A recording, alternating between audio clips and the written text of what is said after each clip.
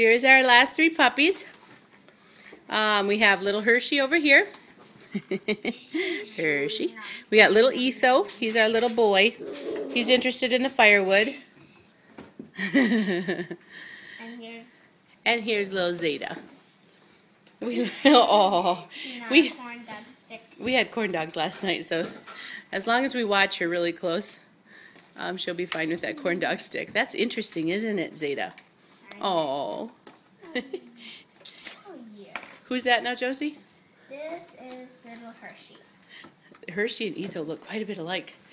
We should put a barrette in um in uh, Hershey's. Oh, no, that's oh, is that Hershey?